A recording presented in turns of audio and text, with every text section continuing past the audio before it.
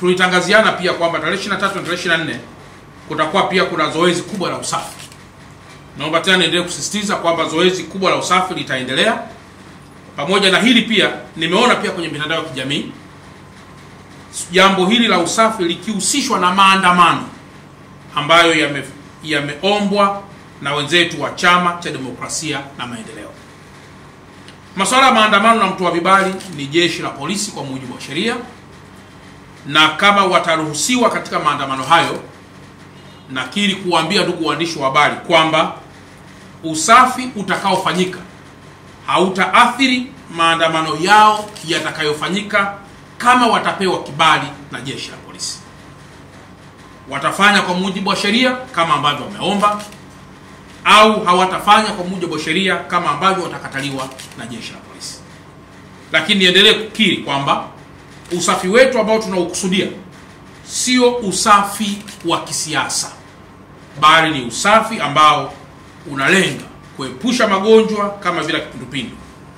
Na kutokana na hili, vyombo vya dola na vyenyewe vitaendelea kushiriki usafi kwenye maeneo yao, kwenye maeneo yao, ili suala la usafi lisichukuliwe kisiasa. Wataendelea kufanya usafi kwenye maeneo yao na kwenye maeneo yote ya barabarani. Pale itakapobidi, wataendelea kufanya ma, ma usafi wa kandarasi ambao wapo kwa mujibu wa sheria, vikundi mbalimbali vya usafi na wadau wengine wote ambao wanawaalika na wao kuweza kushirikiana na wakazi wa mkoa wa Dar es Salaam kuhakikisha kwamba tunazuia kipindupindu katika mkoa wa Dar es Salaam na tunalifanya jiji kuwa safi, kwamba usafi huu si agenda ya kuzuia maandamano.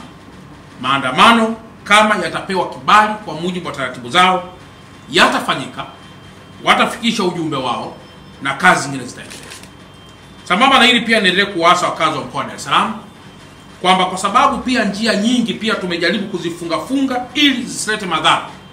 Maana yake kuna baadhi ya barabara zimekuwa na foleni kubwa, na kwa mantiki hiyo tuwe pia makini kwenye kile kitu ambacho tunadhani sio cha lazima sana kuweza kusababisha foleni barabarani, basi kitu hicho tusikifanye, kwa sababu kinaweza kasababisha foleni.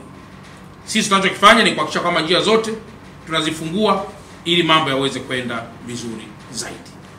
Chuo cha Kilimanjaro Institute of Technology and Management kilichopo Mwenge, Dar es Salaam na chenye thibati na usajili wa NACTVET number REG mkwaju ane mkwaju 029 anapenda kuwatangazia ofa maalum wahitimu wote wa kidato cha 4 2023 kwa kozi mbalimbali mbali za kompyuta zikiwemo computer application, ICT for beginners, PC maintenance, video production, graphics and design pamoja na CCTV camera. Kozi hizi zitaanza tarehe 11 mwezi wa 12 2023 kwa awamu ya kwanza na tarehe 8 mwezi wa kwanza 2024 kwa awamu ya pili. Pia mhula mpya wa masomo kwa kozi za IT, business, hotel management na front office utaanza tarehe 18 Januari 2024. Kwa maelezo zaidi tupigie 0717816034 na 0766348652. KITM,